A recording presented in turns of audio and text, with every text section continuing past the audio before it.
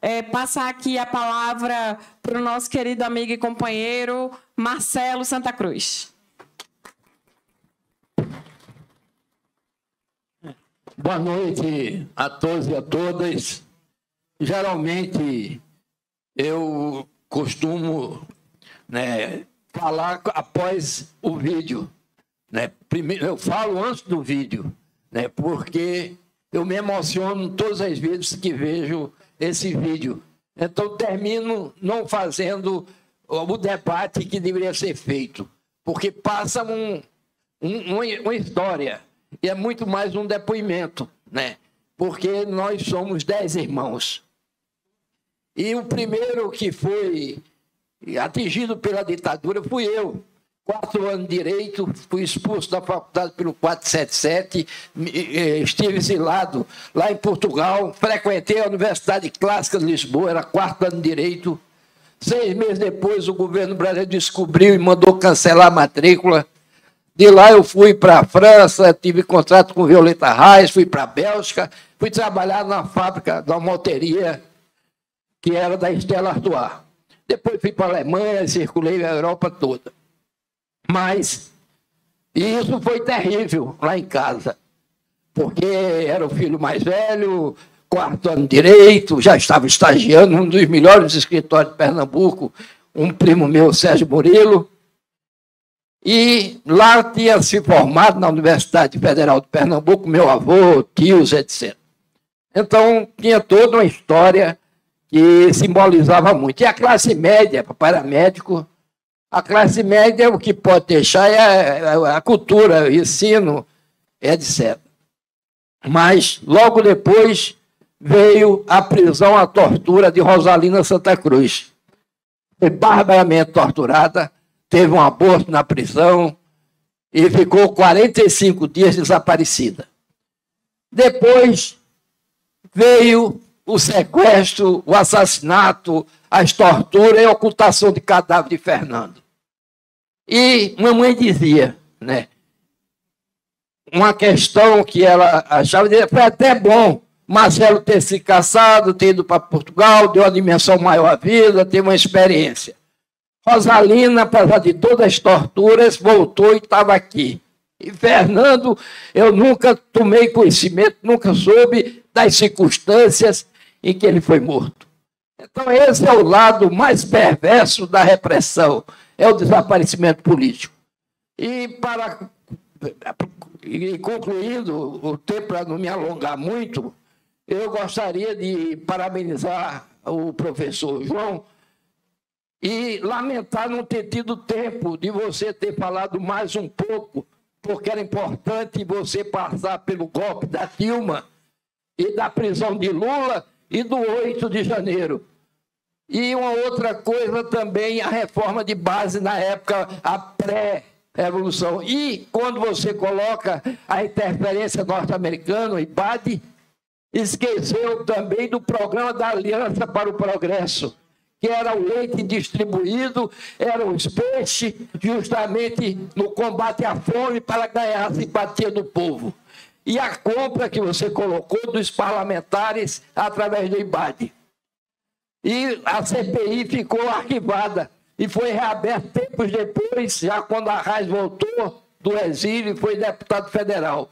E que tal os anais aí, mostrando a igreja, mostrando os parlamentares, os sindicatos, todos eles comprados com dinheiro do IBAD. E uma outra questão é minha querida Teca, que faz uma retrospectiva, e aqui eu vi Fernando Ferro participando da fundação do PT, Humberto Costa, Paulo Rubens Santiago, e tantos mexicanos, e tantos outros companheiros, Suzana, Bruno Maranhão, e que ele precisa homenagear esses companheiros, porque eles fizeram justamente a coisa que na época ninguém imaginava que poderia fazer, que era um partido dos trabalhadores, porque na época existia o MDB, que era grande dificuldade, porque inclusive havia participado da luta também pela anistia. E o PT veio justamente dos setores progressistas da igreja, das comunidades de base, nos ex-presos políticos e do sindicato e dos, e dos movimentos de anistia, tanto o movimento feminino como movimento do Comitê Brasileiro pela Anistia. E aí veio a fundação do Movimento Nacional de Direitos Humanos, que foi em 80. Depois veio a fundação da CUT, veio as diretas e o PT sempre marcando uma posição firme em defesa da democracia. E quando eu fui caçado pelo 477, uma das acusações era que eu estava contra os postulados da democracia, porque eles diziam que a gente que estava combatendo a ditadura estava combatendo a democracia, porque eles que representavam a democracia. E, finalmente, o nosso amigo Marinho tocou na questão que eu levanto sempre, que é a extinção da justiça militar. Não se justifica em época de democracia, justiça militar está julgando civil. Eu tive um caso do, de Roberto Monte, que era do, é do Movimento de Direitos Humanos do Rio Grande do Norte. E ele fez um debate chamado a convite por ser presidente do Conselho Estadual de Direitos Humanos. E na conversa que ele fez, ele citou que o exército dele não era só o exército de Caxias, era o exército de Apolo de Cavalho, era o exército de Lamarca, e citou vários companheiros revolucionários que se viram ao exército. E um oficial estava presente, e essa conferência era para ser feita para o sargento, Associação Cabos, Soldados e Sargentos. E um, um coronel estava presente e, posteriormente, através de uma matéria que ele deu a entrevista, gerou um inquérito. Entre os militares estava também o Roberto Monte. E, por incrível que pareça, pareça eram 13 os indiciados denunciados. Mas o, o, o processo foi ouvido aqui na auditoria militar, e lá na auditoria militar, Roberto Monte disse, quando foi ouvido, afirmou autoritar um dos mais valorosos militares, que foi justamente Gregório Bezerra. E o auditor parou e perguntou para mim: Você quer que conste o que seu constituinte está dizendo? Eu digo: Quero, ele não está dizendo. Se ele está dizendo, deve constar. E constou. Mas aí tinha um oficial que era de patente superior, o processo foi remetido para o Superior Tribunal Militar, porque não tinha patente do, do, dos militares. E lá no Superior Militar trancaram a ação. E a ação encerrou o processo por aí. E o Roberto Monte não queria aceitar que a anistia, que, quer dizer, a, o perdão, o arquivamento, a extinção do processo em relação aos outros, o também o atingisse. Mas aí era impossível. Foi extinto dessa forma e a gente levantou na época muito essa questão da extinção da justiça militar em momento de democracia não se justifica e muito menos ver julgar civil. Mas foi reformada a Lei de Segurança Nacional que na época permitia, isso faz uns oito anos, e, finalmente, quando Teca coloca aqui é, essa questão, a gente passa essa, esse filme. E, por isso, eu deixaria para a Fundação Perseu Abramo uma questão importante. Seria fazer a memória né, do Partido dos Trabalhadores ouvindo geralmente o que aconteceu e resgatando alguns documentos, algumas teses que a gente sempre discutiu. E isso é importante porque a gente precisa remoer o passado para que a gente possa construir um presente e um futuro muito melhor para este país, em favor da democracia, da liberdade e levantando também os assassinatos que houve nos camponeses, nos indígenas e também dos negros, que são os mais perseguidos, e hoje toda a violência que tinha naquela época está sendo nas periferias, justamente atingindo as pessoas pretas, pobres, né, excluídas, inclusive também o LGBT. Muito obrigado.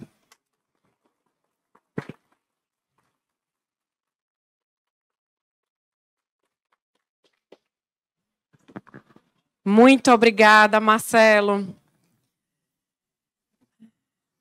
Não sei se os outros estados foram tão emocionantes, viu, Ellen? Estou competindo aqui. Quero ganhar o nosso prêmio de melhor seminário.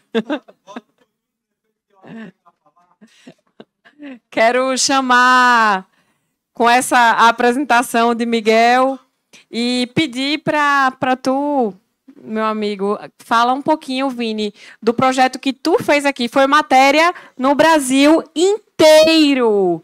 Imagina um jovem preto, periférico, LGBT, dando aula do que é ser um parlamentar comprometido. Que honra, que orgulho com vocês, comigo, com a nossa estrela, Vini Castelo.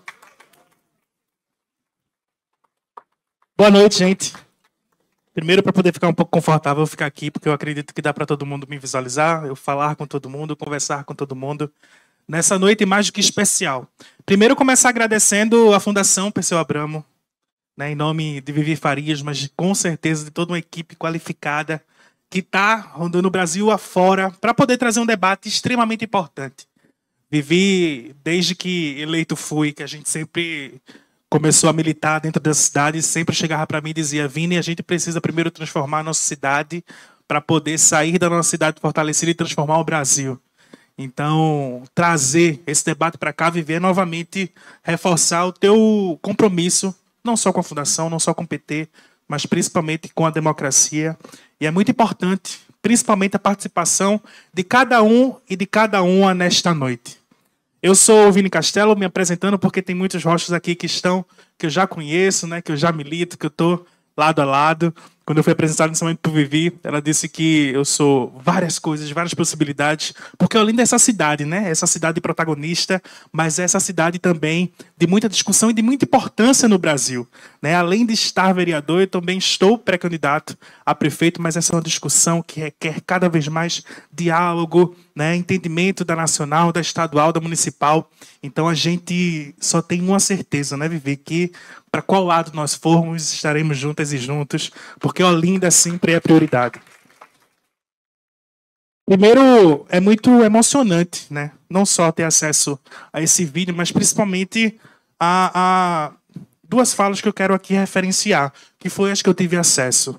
Né? A primeira, assim que eu cheguei um pouco atrasado né, nessa correria da vida, foi né, da, da companheira que estava já falando, inclusive já chamando a juventude para poder militar, né, até que a not, notarem, não é isso?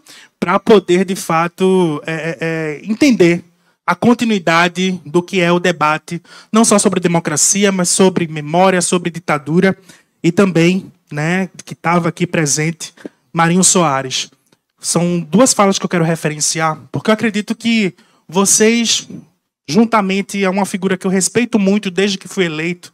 Foi a primeira pessoa que eu procurei, que se chama Marcelo Santa Cruz, que está aqui nesta noite.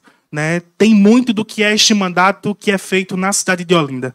A primeira pessoa que eu procurei foi Marcelo Santa Cruz, não à toa. Primeiro, porque ele foi o, vereador anterior, né, que estava representando o Partido dos Trabalhadores e Trabalhadoras aqui na nossa cidade, mas principalmente pela sua história e a história de vida de sua família, de luta de direitos humanos e, evidentemente, da responsabilidade que era, naquele período, ser jovem com 25 anos, ser uma pessoa da periferia, sem qualquer tipo de recurso, entrando numa Câmara.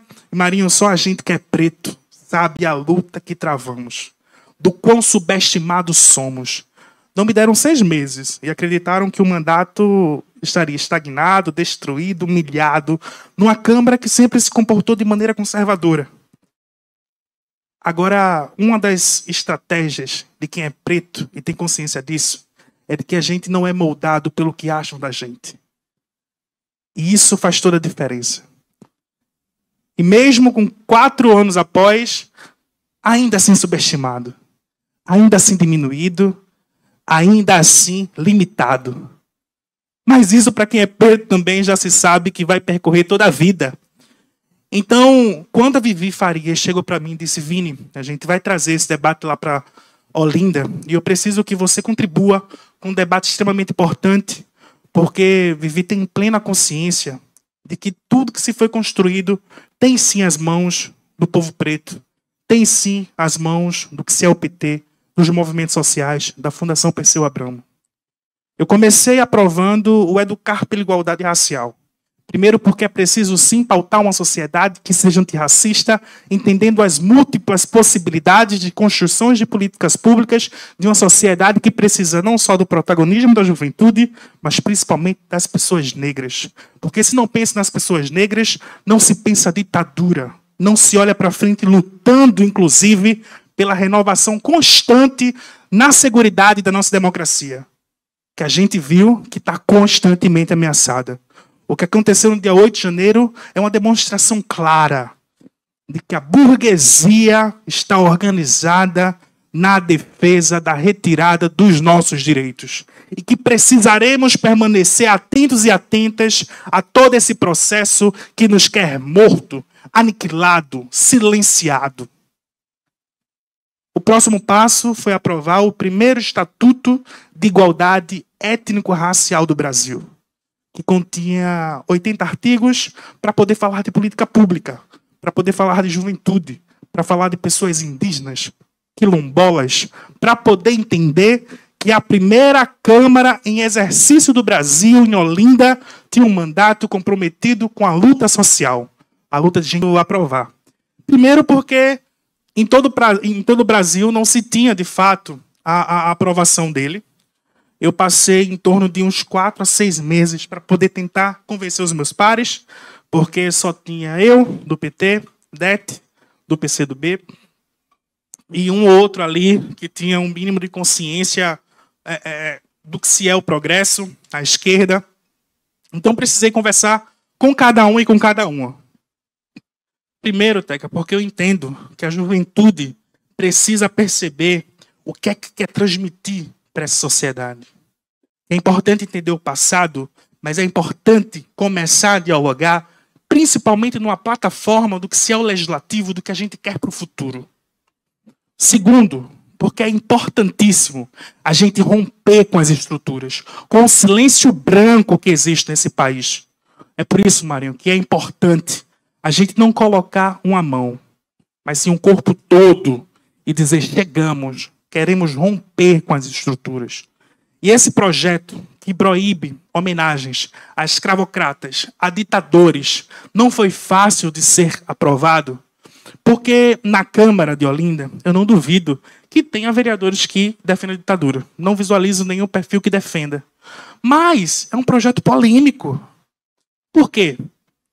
Porque a gente vive num país onde professores e trabalhadores não são homenageados, mas as escórias que têm uma narrativa fascista está impregnado nas nossas escolas, nos espaços públicos, nas praças.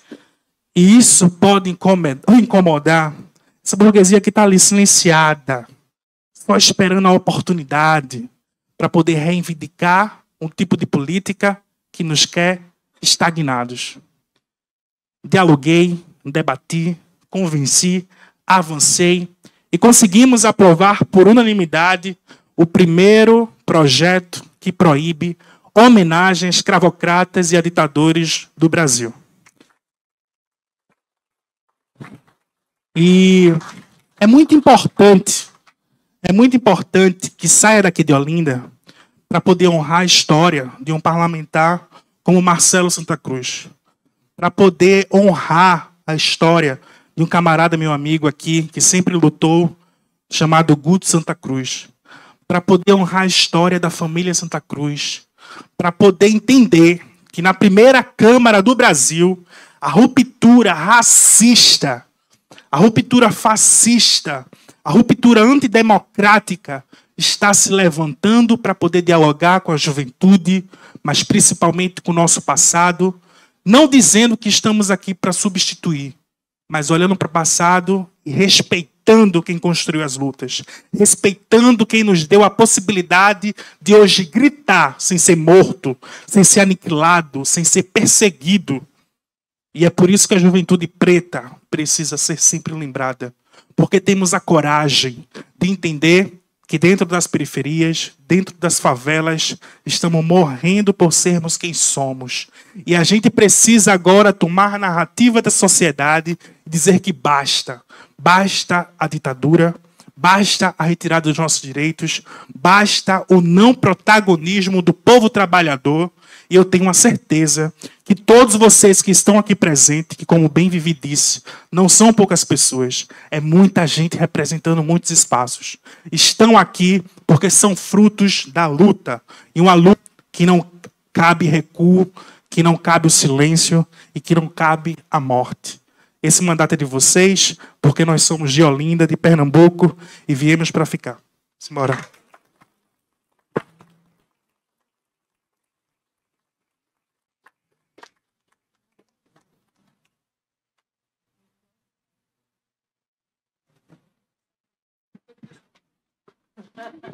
Não parece do esporte, né? Achou o plenário. Cheio de rubro-negro, de alvirrubro. Bem, Marinho, quando você, Vini, tocam na questão racial, para todos nós que somos antirracistas, antifascistas e, sobretudo, mulheres, dá para imaginar um pouquinho da dor de vocês. Porque a violência política, a violência com as mulheres, acontecem em todos os espaços. E por várias vezes, até nos ambientes, César, que a gente devia estar tá mais segura, a gente não está.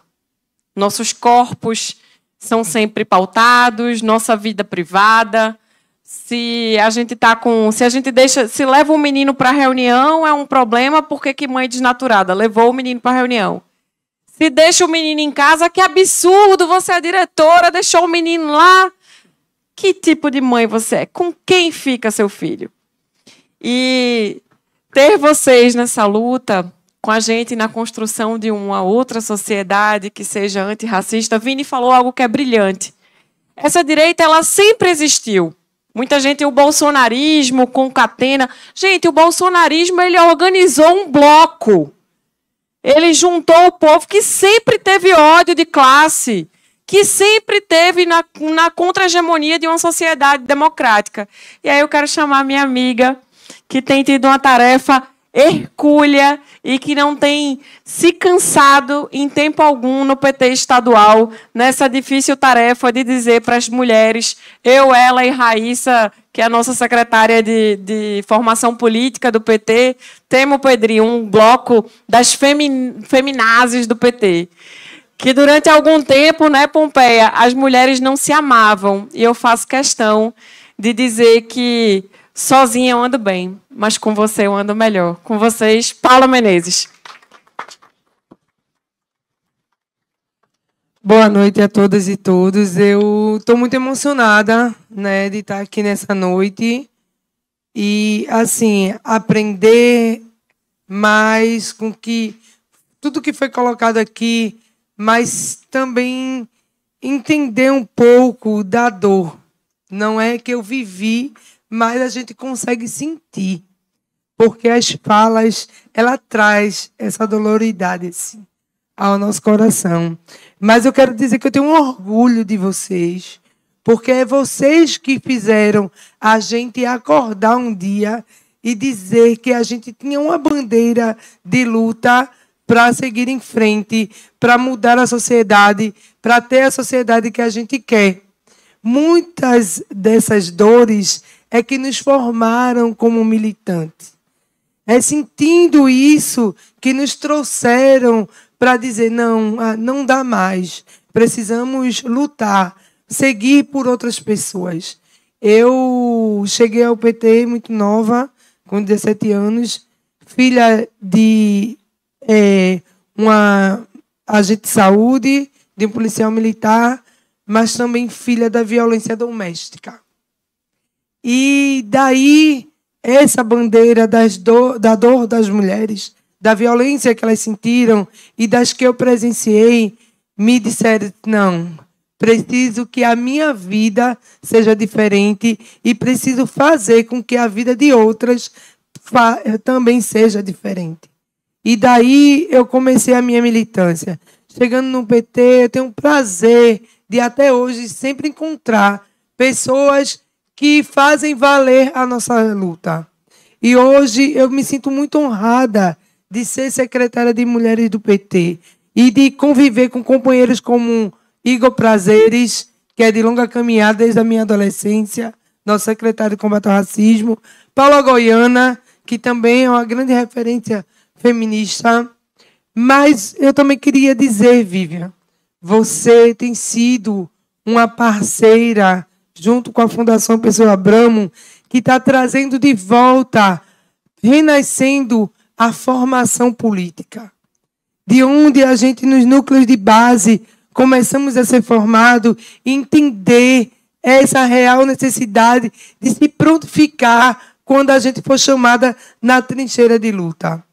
E daí a gente sabe como a gente constrói uma sociedade diferente. Porque se não fosse o PT, se não fosse muito de nós, se não fosse outras pessoas que nós tivéssemos incentivado, talvez a gente não existisse democracia. O nosso país ele poderia ter se acabado, virado uma colônia até, ou coisa pior. Mas temos os companheiros que arregaçaram as mangas e construíram tudo isso. Eu quero dizer que, deixar aqui, que a gente está num ano de trincheira de luta de guerra, porque a gente precisa eleger pessoas nesse país combativa para ocupar as câmaras municipais, a, os, o, o poder executivo representando as nossas pautas. Nós vemos a questão racial que se cruza muito com as, com as das mulheres, né? Porque a maioria de nós, mulheres desse país, somos negras. E eu posso dizer, eu posso ser privilegiada pela minha branquitude, mas eu também tenho sangue negro nas minhas veias, porque eu tenho vários familiares negros também dentro da minha parentela. E por eles eu também já derramei lágrimas pela questão do preconceito, da polícia muitas vezes entrar dentro da comunidade e por meu irmão estar encostado numa parede e assim colocar os braços para trás, dar tapa na cara, como se ele fosse marginal, sem ser. Então, essas coisas nos fazem, sabe, é, lutar e dizer: não, não vamos aceitar, não vamos nos curvar. E eu quero dizer, Marcelo, que você é uma grande referência em torno da, dessa questão da ditadura, porque foi pessoas como vocês que trouxeram essa pauta para dentro do PT. Vivi, parabéns pelo seu trabalho, parabéns pela magnitude que você está fazendo junto com a gente, com, as, com a questão da Secretaria de Formação, com as mulheres, com a juventude, né, Gui? Ela está somando em todos os espaços, fazendo com que a gente conheça mais desse partido, conheça mais dos nossos parlamentares, porque vai juntando todo mundo e a gente vai somando é, aprendendo um com o outro, fortalecendo um ao outro, e esse partido vai se tornando cada vez mais forte.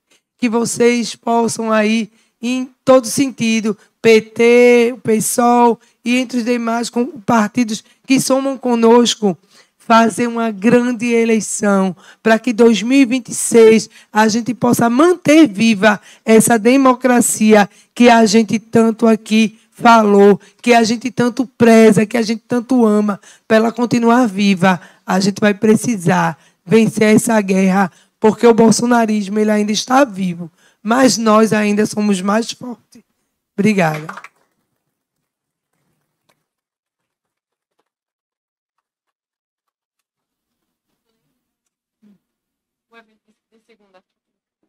Paula quer convidar um convite para vocês. É, e nessa jornada de construção da, das candidaturas das mulheres, nós vamos iniciar aqui em Pernambuco com a primeira plenária feminista petista, né, dia 13, no Sindicato dos Bancários, às 18 horas, com as pré-candidatas. Rosane está ali, né, a nossa pré-candidata ali do Cabo. É, tem aqui em Olinda Eugênia, Rafaela Crispim, né? Tem Rayane, cadê ela? Acho que ela saiu. Tem tantas companheiras aguerridas dispondo, colocando aí né, sua cara nessa luta para a gente ampliar nossas bancadas femininas e bancadas femininas negras também, né, fortalecendo as nossas pautas, porque a gente fala muito assim, nada sem nós, sobre nós sem nós, mas para isso a gente precisa conseguir também, né, Vini? Quem sabe, eu creio que você vai ser prefeito dessa cidade e vai estar com a bancada feminina forte do seu lado, aguerrida, dizendo aquilo que for preciso ser colocado dentro dessa Câmara de Olinda. Então, convido vocês para a primeira plenária feminista petista, né, com as nossas pré-candidatas da, do Recife e da Metropolitana, às 18 horas, 18 horas no Sindicato dos Bancários. Sejam bem-vindos lá, eu estou aguardando. Militância de mulher é bem isso. Um cara vai falar, aí ele vai lá, Congresso Nacional do PT. O cara fala, fala, fala, fala. Aí ele pergunta assim pro amigo: falei bem? Aí o amigo vira e fala: falou bem pra cá. Aí fala uns três palavrões. Tu botou pra. Tu, tu é o Jedi, viva tu, tu é o cara. Aí o cara infla o peito e diz: Nossa. Mulheres já é assim. A amiga vai falar, Primeiro que a gente vai tudo nervosa, né? Porque o, o, o, falar público não é a nossa condicionalidade normal quando torna-se mulher, né? Que se percebe as amarras que a gente é criada para não gostar de falar em público. Não, eu gosto de cuidar, eu gosto de, de arrumar o cafezinho da companheirada, já não gosto de falar. As que se atrevem em falar Aí a pessoa fala, faz uma fala bem bonita, aí vira para a amiga e diz assim: Amiga, falei bem. Mulher, tu esqueceu de falar da plenária.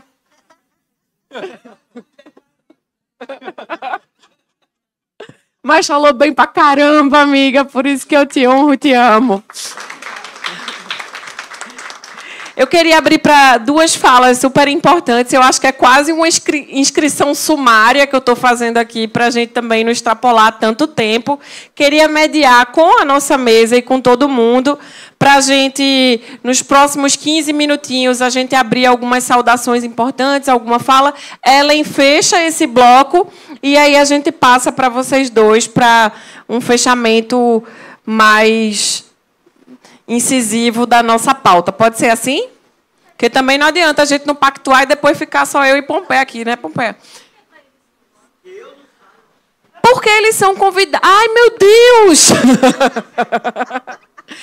Porque Teca é tão minha amiga, os dois vieram tão de longe, tão maravilhosos. Teca, Teca foi comigo, do, eu, eu estava, eu fui a primeira jovem junto com Anne a estar na executiva nacional do PT. Então tem só uns 24 anos que eu convivo com Teca em São Paulo. Então, amiga, me perdoe. Por isso que foi os dois. Para os três convidados, né, inclusive os mais de casa. Tu é rubro-negra? Obrigada. Bem que eu percebi esse ar Maravilhoso. Vamos, vamos abrir. Eu vou, falar, vou passar a palavra primeiro para o companheiro Ferro, e aí Moniquinha vai pegando a companheirada, e para o companheiro Francisco Alexandre e Ellen, que também já está inscrita. É, e aí a gente, pra, porque já teve gente ali pedindo tal, a gente vai, vai mediando aqui. Ferro.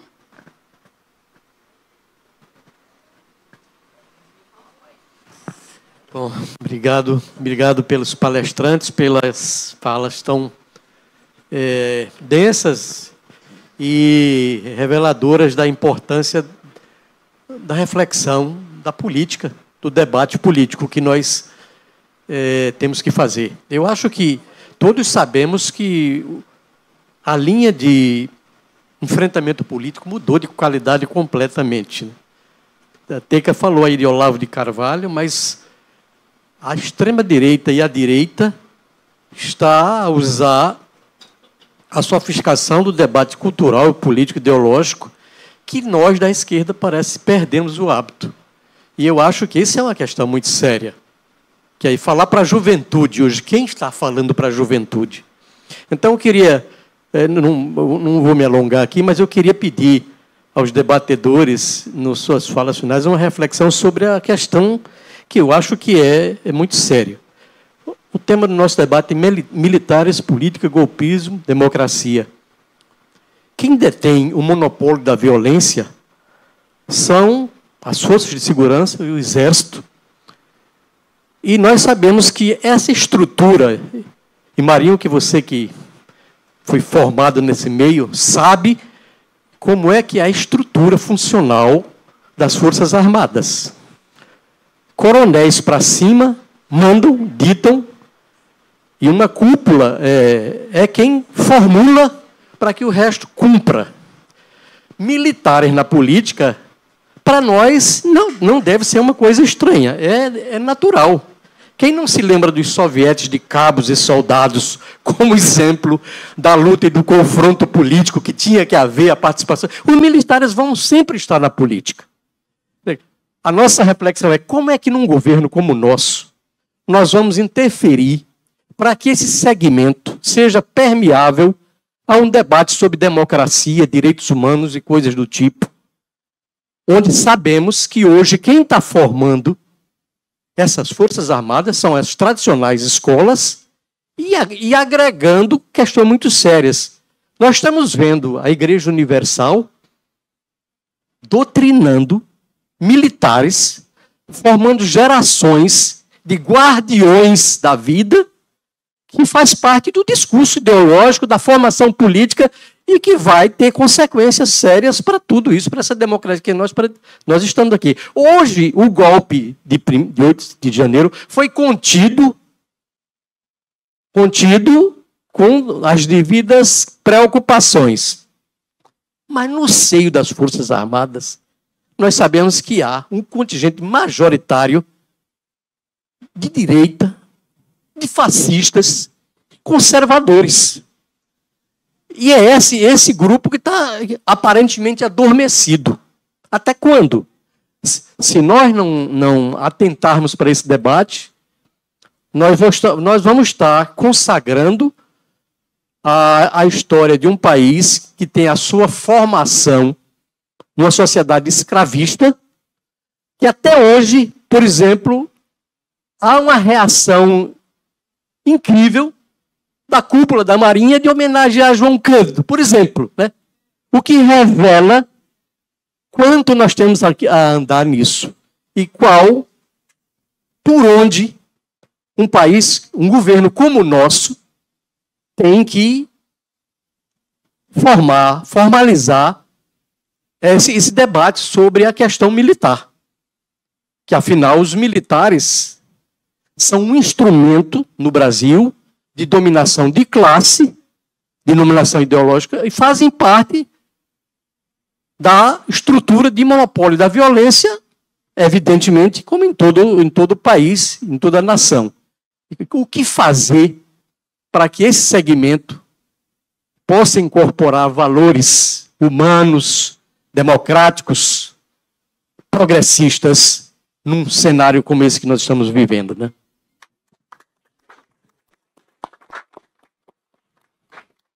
Eu acho que já dá o tema do próximo debate, viu, Ellen? Que arrasou. Obrigada.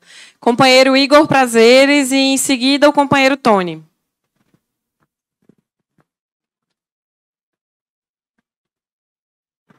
Bem, boa noite a todos, todas e todos. Parabéns, Ellen. Obrigado aí por trazer o professor Marinho, né, para a gente referendar aqui, deixar também uma ideia da gente fazer um debate sobre racismo, colonialismo e a ditadura militar.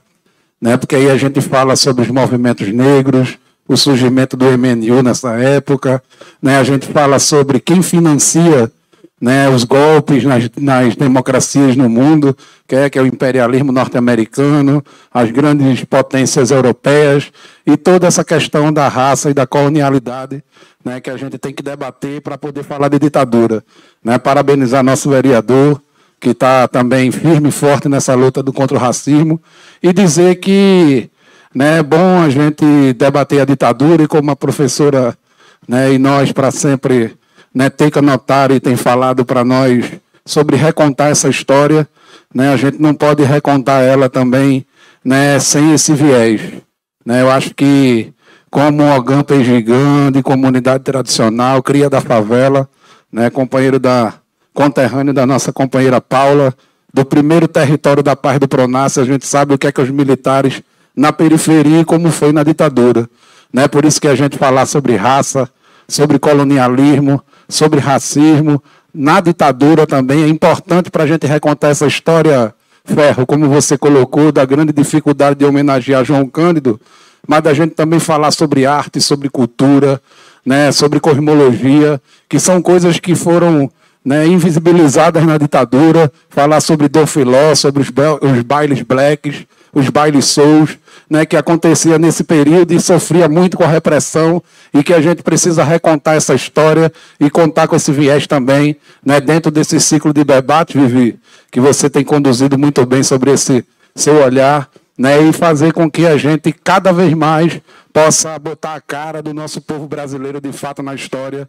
E é isso que a gente tem que contar também, parabenizando também o nosso companheiro Marcelo Santa Cruz, porque a história da família de Santa Cruz ela é, é uma história de luta, né, de quem combateu e de quem estava junto com negros e negras também combatendo esse processo da ditadura militar.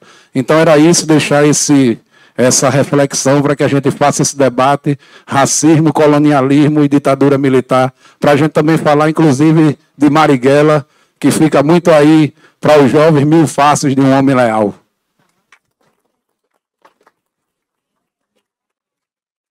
Obrigada, secretário. Eu estou lendo, Igor, Um Defeito de Cor. E eu já falei para Ellen que eu disse eu estou desesperada, porque quem não leu ainda, gente, por favor, leia. É um negócio excepcional. Ela vai, eu acho que ela chega até uns 90 e poucos anos. Ela está com 12, eu já parei para chorar umas 20 vezes. Eu disse, daqui para lá quero mesmo ver. Já até manchei o livro, mas está tudo certo. É, companheiro Tony, depois a companheira Maria.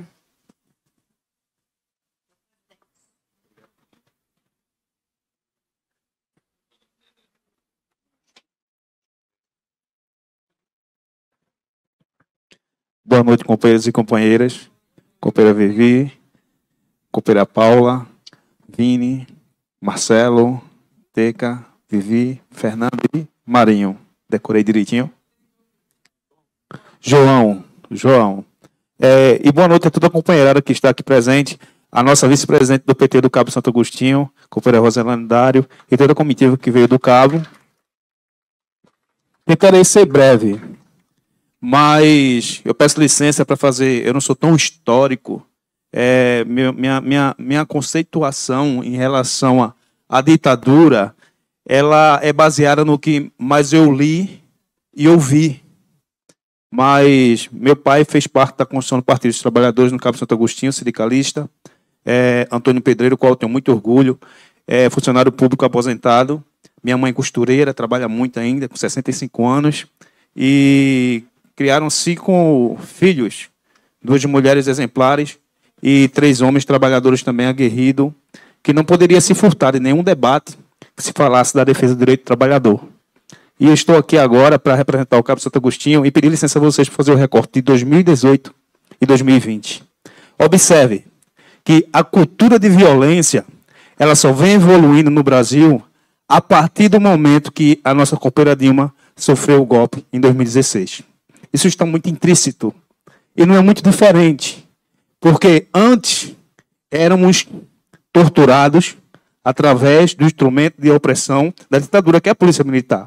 E hoje somos torturados porque somos, é, antes, estava sendo subtraído de nós os direitos que foram conseguidos através da luta daquele povo. Então também não deixa de ser uma tortura. Por quê? Em, no dia 1 de janeiro de 2019, se eu não estiver enganado, foi aprovada a lei da reforma trabalhista. Quantas pessoas não morreram para que a gente conseguisse alcançar aquilo e foi retroagido há mais de 40 anos direitos que pessoas morreram para que nós pudéssemos alcançar.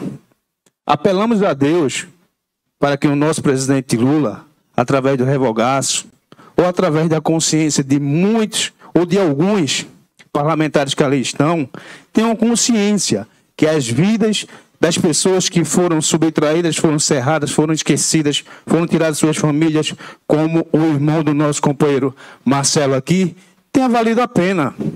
Porque é disso que estamos falando aqui hoje. Tudo que aconteceu lá no passado era para que os jovens daquele tempo, no caso, que hoje estou com 43 anos, tivessem oportunidades diferentes, como negro, periférico e pobre, tivéssemos alguma coisa diferente no nosso horizonte.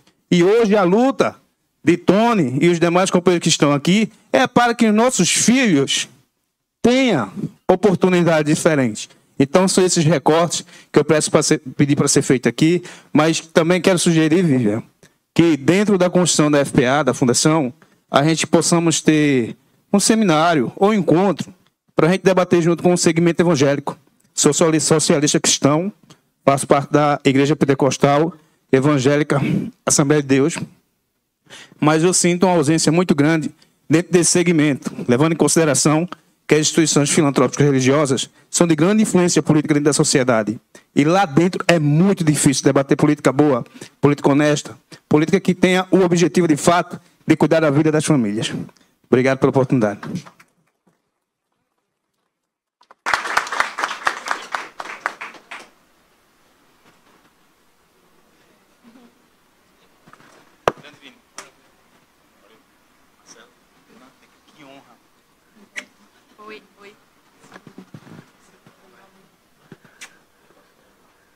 Você pediu e Glaze também, viu? Então a gente já está fazendo, porque ela pediu antes que você. Então, tchau, meu amor, boa agenda. A gente já está envelopando. Quero inclusive dizer para quem é católico, a gente está com um curso de fé e política, inscrições abertas no site da nossa Fundação Perseu Abramo. As pesquisas apontam, muita gente tem me perguntado, ô oh, Vivi, vocês agora vão virar tudo igrejeiro? Tem curso para evangélico, tem curso para católico. Eu disse que, minha gente, para macumbeiro, ateu, espírita, a gente já tinha muita coisa. E a gente precisa, gente, disputar a sociedade, ficar no gueto, não dialogar com outro. Durante a campanha eu falava muito, Pompeia, que eu tinha uma campanha interna, João, que era adote um bolsominion. Aquele bolsominion, assim, todo mundo tem na família um cara meio tosco, que você deixava meio para lá, que você não dialogava. Gente, criar pontes é o nosso papel. O Brasil, a grosso modo, e aí não sou eu que estou falando, é a Quest, a Vox, a USP. A grosso modo, nós temos 21% de pessoas mais progressistas, 28% de pessoas mais antiprogressistas, ortodoxas, totalmente anti-LGBT e, e, e tudo, reacionários, e a gente tem o resto que é disputável. Se a gente disputar o disputável, a gente vai fazer política para a gente mesmo. Eu sei que a gente adora reunião de três minutos conclua, mas momentos como esse aqui, Ellen, eles trazem um outro patamar. Então, parabéns para você. Muito obrigada por a gente fazer parte desse processo juntas. Minha querida amiga Maria. Olá. Boa noite, é um prazer estar aqui, uma alegria, um orgulho. Sou Maria Lins, militante do PT na articulação de esquerda e no Comitê pela Democracia de Olinda, com muita alegria. É, de fato, eu estou aqui para falar do movimento que é uma força extraordinária que o PT está desenvolvendo, que é a sua política de, forma, de formação política integrada pelas jornadas Nova Primavera, jornadas de formação política Nova Primavera, e pela rede de educadoras e educadores populares. Tanto jornadas como a rede abertos também a não é, filiados.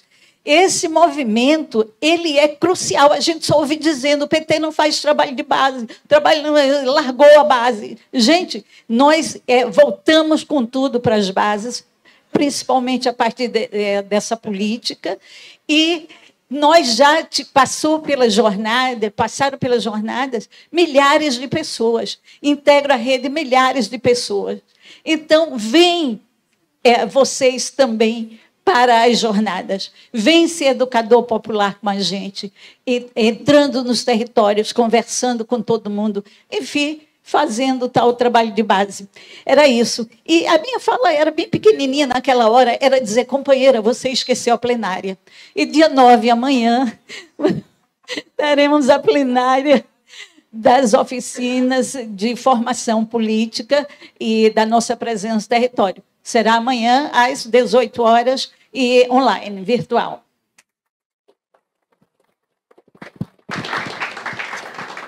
Minha gente, essas são as pérolas que o PT tem aqui, em nome dela, de Cessa, Ira, Luísa, agradecer. A gente tem uma rede de educadoras militantes, que essas pessoas só recebem a paz interior de estar fazendo militância política. E aperreio, porque a gente recebe muito aperreio na formação, e sem vocês a gente não, não teria chegado onde o Nova Primavera está chegando. Quero passar agora para o companheiro Francisco Alexandre, nosso suplente da senadora Tereza Leitão. O currículo Lattes dele é muito Não. maior que isso, mas eu acho que esse é o cargo mais resumido. Não, eu, eu sou militante do Partido dos Trabalhadores já há mais de 30 anos e sou membro do Diretório Estadual aqui de Pernambuco. Para os que não me conhecem, eu antes eu militava no Diretório Estadual de Alagoas, mas sempre no Partido dos Trabalhadores. Passei um período bastante fora de Alagoas e Pernambuco, né, trabalhando entre Brasília, São Paulo e Rio de Janeiro. E na volta a Pernambuco, eu, na volta para cá, para nossa região, eu voltei aqui para o nosso estado, que eu sou pernambucano. É, gostaria de agradecer a toda a palestra. Eu me peço perdão ao professor, que eu fiquei das 5 até as 8 horas da manhã para chegar do Cabo até aqui que hoje fui visitar o meu pai em Maceió, saí duas e meia, cheguei aqui oito horas da noite, acreditem, saindo de Maceió, duas e meia da tarde. E num trecho da estrada eu fiz 125 quilômetros em uma hora para chegar aqui. E não cheguei na, né, num trecho. Compromisso de vir aqui. No entanto, não é sobre a viagem que eu quero falar. Né, vamos falar um pouco é, sobre é, o tema do dia. Mas antes, mesmo estando ausente, eu gostaria de fazer um elogio ao nosso vereador aqui de, de Olinda. Na primeira vez que eu conversei com ele, que eu já fui recrutador de pessoas, eu disse: Vinícius, você não me engana, você tem muito valor. A Vivi estava comigo e é testemunha. E a cada dia que eu ouço o Vinícius, ele me surpreende como uma pessoa que vai muito longe, com muita capacidade e com muita argúcia daquilo que fala. E que bom que Olinda tem um parlamentar desse, viu, Marcelo, que ele sucedeu, né? E que bom que o PT tem um militante da estatura do Vinícius. É, não é missa do corpo presente, até porque ele não está, porque se estivesse eu faria a mesma coisa. Né? Agora, para falar do nosso tema de hoje, eu vou lembrar, vou lembrar bem distante, né, do histórico rápido e recente. Há poucos dias nós tivemos em Portugal um dos maiores, é, é, uma das maiores concentração de gente dos últimos tempos lá na comemoração da Revolução dos Cravos. 40 anos da queda da ditadura Salazar. E por que aconteceu isso?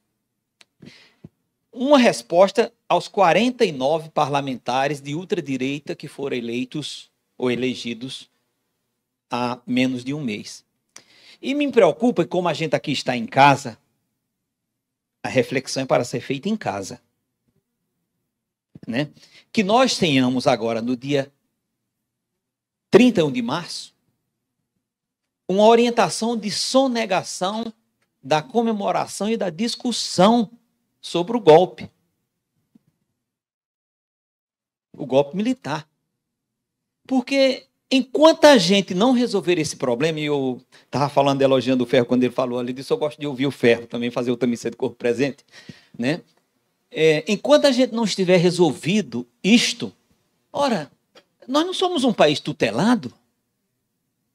Enquanto nós não tivermos resolvido que exército hão de existir.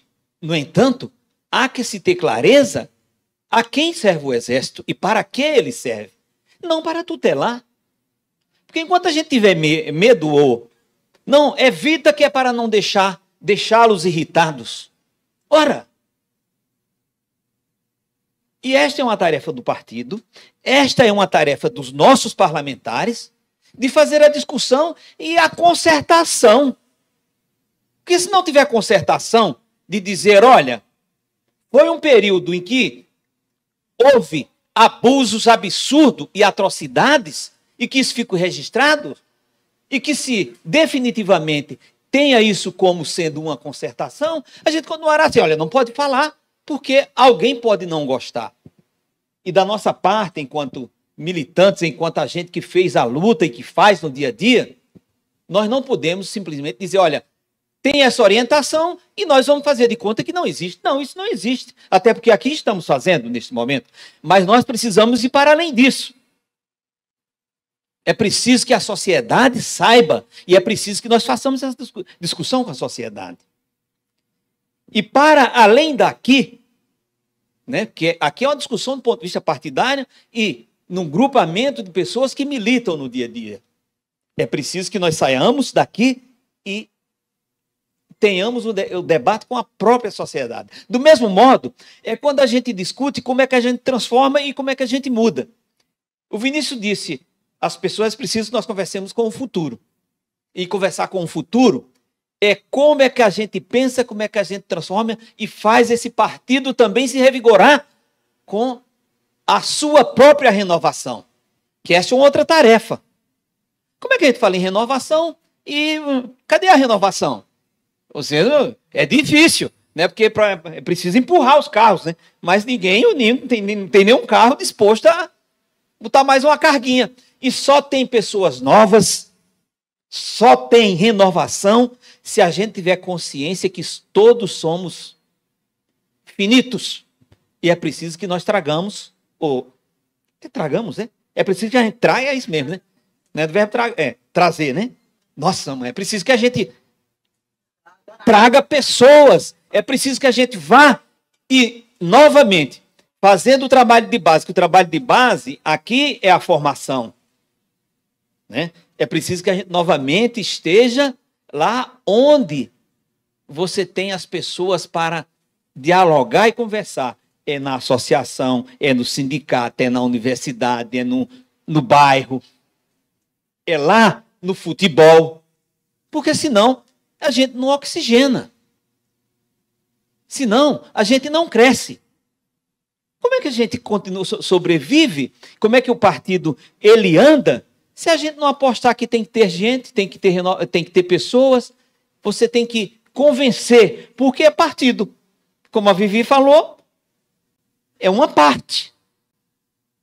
Né? E cabe a nós, os 21 ou, 20, 21 ou 22% são progressistas, convencer os 50 ou parte dos 50 para fazer maioria na hora que você faz disputas ou na hora que você quer fazer a transformação. E nós não faremos transformação, não adianta a gente achar que só cedendo, cedendo, cedendo, cedendo,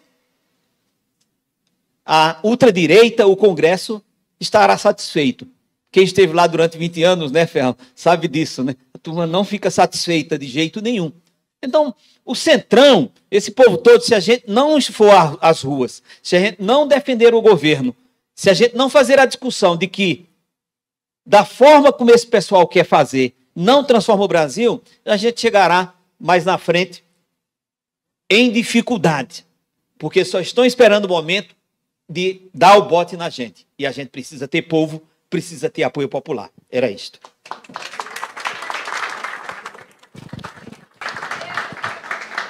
E olhe que ele não falou nem ainda do que ele arrasa, que é economia, viu? Que é... Tô, tô brigando para que seja um, um, seu, seu colega no nosso conselho aí, em alguns mandatos que estão vencendo aí, a gente vai colocando o povo mais nordestino para ajudar a gente a pensar. Quero convidar é, o companheiro Romero. É Mero, é? Meu amigo, doutor nossa liderança, pré-candidato a vereador, Mero do Povo. Palmas para Mero do Povo, minha gente. Vamos se animando para dando pique para a gente. Estamos chegando finalmente.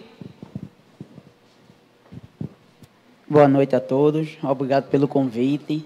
Né? Faço parte também da Nova Primavera já há dois anos. Agradeço também. Eu também não poderia de saudar todos vocês e também de lembrar aqui um companheiro, né? Eu posso dizer companheiro, eu não vivi o tempo dele, mas eu sempre fiz movimento estudantil, principalmente pela UEP. Lembrar de Cândido Pinto, né? Cândido Pinto presente, hoje e sempre.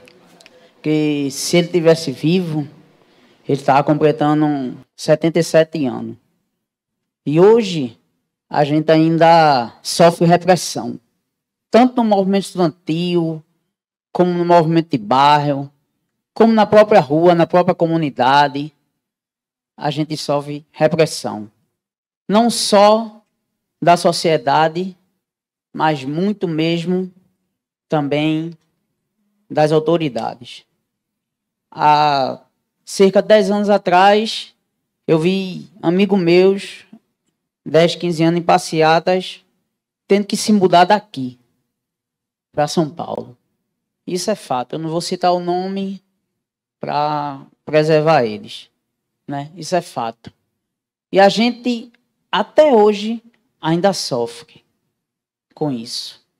Até quando isso? Mas isso está mudando e vai mudar com a gente unido. Não só a gente, quando eu digo a gente, do Partido dos Trabalhadores, mas com todas as classes de luta, todos os partidos unificados. O Brasil, ele garantiu a vitória de Lula porque ele foi unificado. Né? Dilma sofreu um golpe e eu estava na faculdade, a gente ganhava a eleição no segundo turno e eu entrava com a bandeira dentro da faculdade. E passava uma semana suspenso, mas o professor permitia que eu assistisse aula, que ele disse que democracia não só é fora da faculdade, é também dentro da faculdade. Eu era representante do Diretório Central do Estudante. E eu estou muito alegre, né? Isso é muito vivo, às vezes a gente fica triste, baixa a cabeça, mas eu não baixo a cabeça nem no meu bairro, nem na minha cidade, e nem principalmente onde eu trabalho. Que eu mostro a realidade para eles. Eu mostro quem luta pelo ProUni, eu mostro quem luta pela manutenção do Bolsa Família e dos programas sociais, né? E mostro que a gente não vai tolerar repressão, né? Sempre vai ficar para cima. Grande abraço para vocês. Mero, pessoas como você é que fa fazem ter mais sentido a palavra trabalhadores do nosso partido. Então, quem tiver precisando de blindex, quem tiver precisando de serviço de ralharia, esse cara aqui, ó, lindo, da região metropolitana inteira, Salva de palmas, minha gente, para mero do povo. Claro, oxente, eu, eu fiquei traumatizada porque eu descobri isso depois eu tinha acabado de trocar o de lá de casa. Aí eu disse, meu Deus do céu, como é que Mero faz isso? E, aí chegou alguém lá em casa e disse, menina, isso aí Mero tinha feito melhor. Eu disse, putz, não acredito, que é meu amigo, meu companheiro, que eu tenho orgulho de, de caminhar contigo, meu amigo. É, companheira Yolanda e Eduardo, os dois últimos para a gente passar para Ellen e para nossa mesa. A cozinha fecha 22 horas, senão a gente não vai lanchar.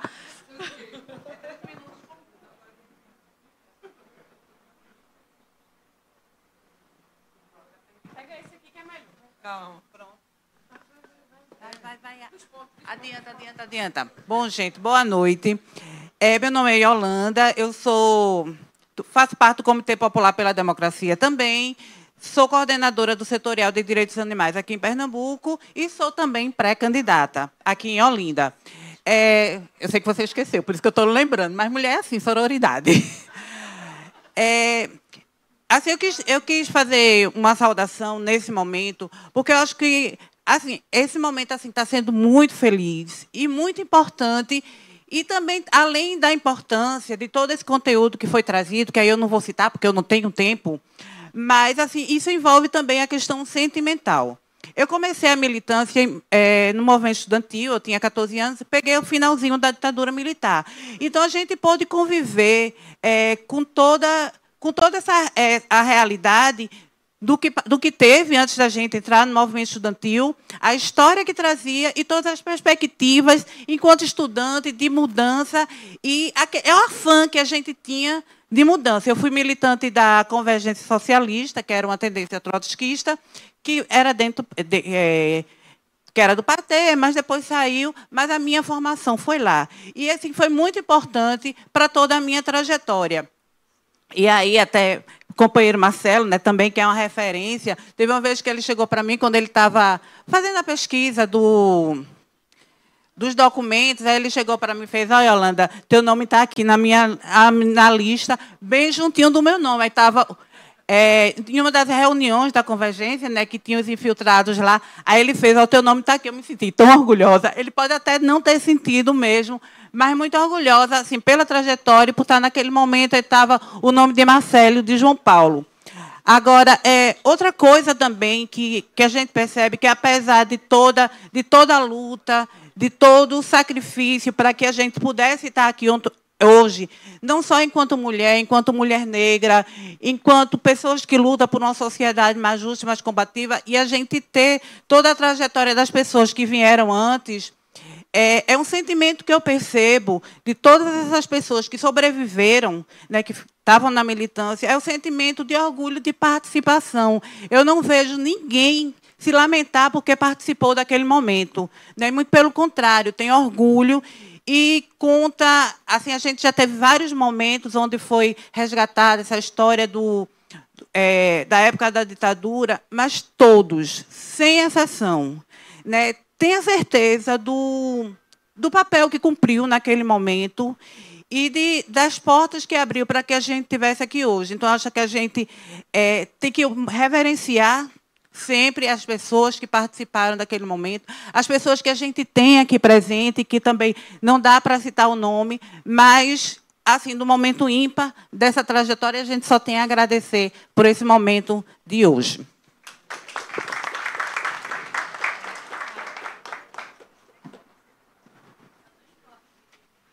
Esporte que pega, gente. Poxa. Brincadeiras à parte. É, Yolanda, é, só agradecer a tua presença também, tua militância. Além de tudo, ainda é maravilhosa, assistente social, perfeita, sem defeitos. Palma, minha gente, para Yolanda, nossa pré-candidata. Companheiro Eduardo Paisan. Obrigado. É, boa noite a todos, todas e todos.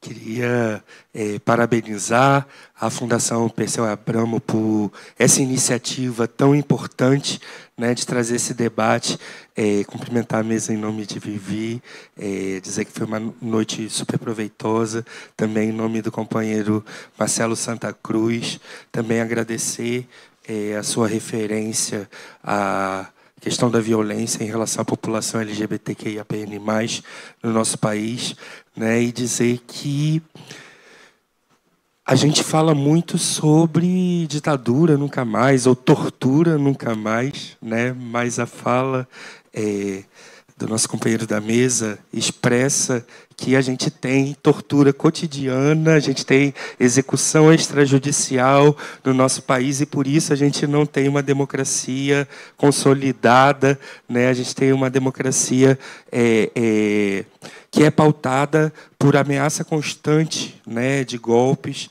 né? E eu queria reforçar uma situação que foi colocada aqui sobre é, é, o quanto o medo né, é um instrumento de controle muito forte e que a gente precisa é, é, é, estar prevenido, mas que a gente precisa enfrentar esse medo e seguir adiante diante de várias pautas que estão colocadas sobre a questão de segurança pública e tudo mais. Né? Muitos morreram antes de nós em diversas lutas para que a gente estivesse aqui hoje e para que a gente pudesse avançar. Né? E eu queria dizer que esse medo, às vezes, faz com que nós mesmos nos autocensuremos previamente. Receio, e se eu vou falar isso, se eu posso, se eu não posso. Então, a gente para reafirmar a democracia, a gente precisa. É, é, eu uso uma camisa com, com as cores LGBTs que diz a, a vida é feita de coragem. Né? E a gente viveu nos últimos anos é, é e está vivendo ainda hoje, mesmo sem Bolsonaro estar no poder formalmente, é, um, um, uma tentativa de um grupo que se organiza e coloca as nossas vidas em, em, mais ameaça, que foi falado aqui né, sobre um determinado segmento evangélico e tudo mais, onde é, é, é, se dão o direito de pregar diante de multidões e dizendo que tem que matar as pessoas LGBTs mais. Né? Então, é, é que as mulheres têm que. Então, assim, queria reafirmar né, que nós não vamos voltar para os, para os armários, que as mulheres não vão voltar para a cozinha as, as pessoas é, é, negras, a população negra não vai voltar para a senzala e que a gente precisa continuar a avançar, reforçar nossa democracia, construindo igualdade, né, com muita coragem, com muita organização. E por isso eu volto a reforçar a importância desse encontro e de vários outros encontros, inclusive dizer, né, dentro do, do Plano Nacional de Educação e Direitos Humanos tem um segmento que é da segurança pública que pouco avançou e que a gente precisa tomar essa, é, é, essa pauta para levar adiante. Né? Dentro do Plano Nacional de Direitos Humanos é, é, 3, o Programa Nacional de Direitos Humanos 3, a gente teve é, é, é, enfrentamentos naquela época que não conseguiu mais avançar. Né? Então, tem várias lutas que a gente precisa estar tá fortalecido, organizado e se dar as mãos para seguir adiante. Então, é isso. Contem conosco, seguimos adiante. Muito obrigado.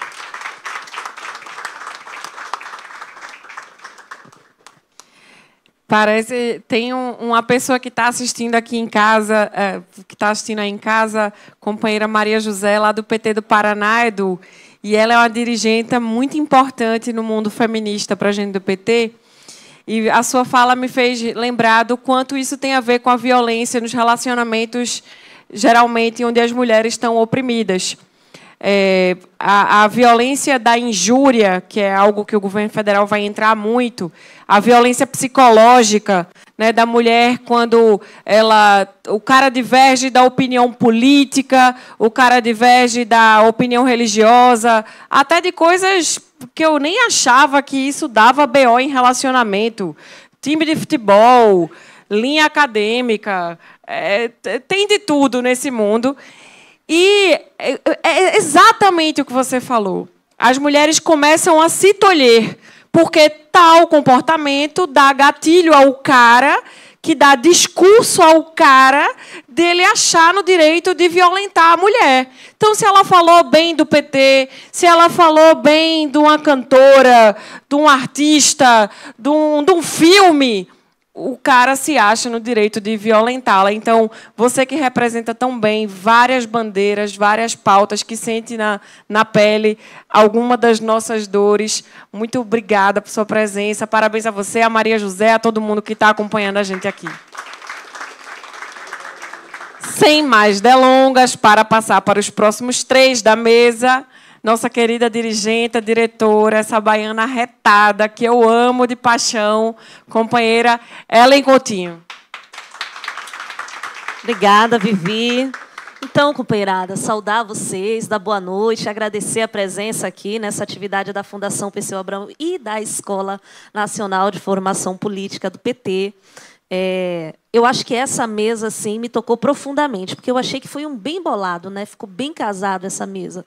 O professor João, com seu brilhantismo, a Teca com sua militância porque a, a TECA é, uma, é dirigente do Coletivo Nacional de Direitos Humanos. A TECA lutou contra a ditadura, veio do PCBR e hoje ainda é nossa dirigente do Coletivo Nacional de Direitos Humanos, nos dirigindo numa tarefa muito importante. E, para fechar com chave de ouro, Marinho que na sua fala me deixou, na sua fala provocadora, na sua fala forte, me deixou muito reflexiva, porque a Fundação fez 28 anos essa semana, a Fundação Perseu Abramo. E desde que a Fundação nasceu, a Fundação tem o papel de ser esse espaço do amplo debate político, do fino debate político, do o espaço da reflexão aprofundada. E reflexão aprofundada necessariamente passa por a gente ter opiniões divergentes, todas à esquerda, todas progressistas, mas nem sempre todas iguais. Opiniões que divergem, opiniões que contribuem, opiniões que constroem. E quando Mario ia falando ali, eu ia pensando, mas a crítica é muito bem-vinda. A crítica precisa ser feita, e quando ela é feita pelas feministas, quando ela é feita pelo movimento negro, quando ela é feita por quem luta por cidadania, aí ela é fundamental, porque ela nos melhora, porque ela contribui para a gente chegar onde a gente quer, que é numa sociedade socialista. Então a crítica ela é muito bem-vinda. E você ia fazendo a crítica e ia dizendo que bom que nesse momento eu estou orgulhosa de que o PT, no último diretório nacional, aprovou que nós teremos comissão de heteroidentificação para as candidaturas negras receberem recurso aquelas que são realmente negras. É o primeiro partido a aprovar uma banca de heteroidentificação. É vitória do movimento negro dentro do PT, dos pretos e pretas que constroem o PT. Então, enfim, fico, fico feliz, porque a gente tem que avançar, tem que reconhecer o que há para se reconhecer e tem que avançar, tem que criar mecanismo para a gente avançar. Então, enfim, mas o, o, eu, ele ia falando ali que a culpa de ter chamado ele era minha. E eu ia ficando mais feliz e mais feliz porque é, é muito simbólico, e ele não, não tocou nisso, é muito simbólico que o Marinho, em 2014, tenha sido aposentado compulsoriamente, né? tenha sido colocado na aposentadoria por fazer luta no movimento negro. Porque quando ele diz por escrever, é por escrever de forma antirracista, por escrever apontando um caminho, sendo um farol da luta antirracista. Então, que bom que a gente pôde contar com você aqui hoje. Achei precioso a preciosa contribuição da Teca e do professor João também, que foi, enfim, todo mundo ficou muito feliz, foi brilhante. Marcelo, atendendo a seu pedido, a gente está com a campanha Memória da Militância sendo formatada ali no final já para chegar na rua, para justamente a gente conseguir ter na nossa memória também acolher, ainda que não toda, mas parte da memória da militância do PT, porque é riquíssima, enfim, é fundamental. Então, dizer para vocês, eu, eu vi o nosso senador falar, hein, senador? Ele ia falando sobre a tutela militar e essa mesa era justamente isso também, para a gente pensar sobre essa tutela militar, pensar sobre a democracia que nós temos. Há quatro semanas atrás, Marinho, o STF julgou se havia ou não poder moderador no Brasil. Há quatro semanas atrás, em 2024, o STF julgando se havia ou não um um poder moderador no Brasil. Então, justiça militar, poder moderador, inúmeras teses para interferir na democracia, na soberania dos poderes, na condição do povo brasileiro decidir o seu destino, é realmente uma coisa que a gente tem que trazer para o debate político exatamente assim, militares e política nesse país, o que significa isso. E para finalizar, dizer que ouvi ali durante aquele vídeo, eu também fiquei emocionada, Marinho, o cálice, porque o cálice, senador, tem sido para mim a grande tônica desse momento. Afasta de mim esse cálice. Né? Nos 50 anos, em 2014, nós fizemos comissão da verdade, nós fizemos devolução de mandatos em Assembleia Legislativa, nós produzimos muito para lembrar a ditadura e para dizer que nunca mais se repita. Então, quando a gente sai pela Fundação fazendo evento no Brasil, né, e a gente fez no Rio de Janeiro, em Salvador, em Belém do Pará, está fazendo em Olinda, e iria fazer daqui a duas semanas em Porto Alegre, quando a gente sai fazendo isso, é para dizer afasta de mim esse cálice.